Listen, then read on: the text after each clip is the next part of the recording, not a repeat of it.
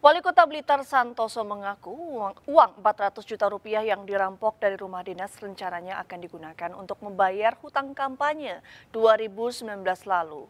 Sementara polisi membentuk tim khusus untuk mengungkap kasus perampokan dan penyekapan.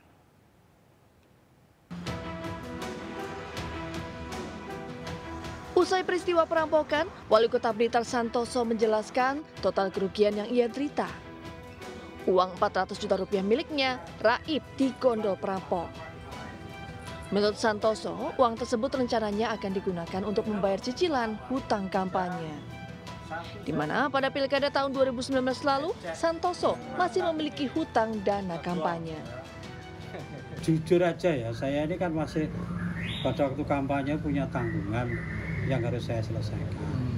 Nah rencana saya, sehabis akhir tahun saya mulai menyicil utang saya. Hmm. Jadi utang saya karena belum lunas, mau saya cicil. Saya kan harus mengumpulkan dari hasil honor-honor kalau saya buka. Polda Jawa Timur membentuk tim khusus untuk menyelidiki kasus perampokan rumah dinas wali kota Blitar. Sebanyak tujuh orang saksi telah diperiksa. Saat ini, hasil olah TKP dan pemeriksaan para saksi masih didalami. Polisi juga tengah berkoordinasi dengan Dinas Kominfo Kota Blitar untuk mencapai alternatif CCTV di sekitar TKP. Pasalnya, CCTV di area rumah dinas wali kota dirusak para pelaku. Santoso sendiri hingga kini masih mengalami trauma.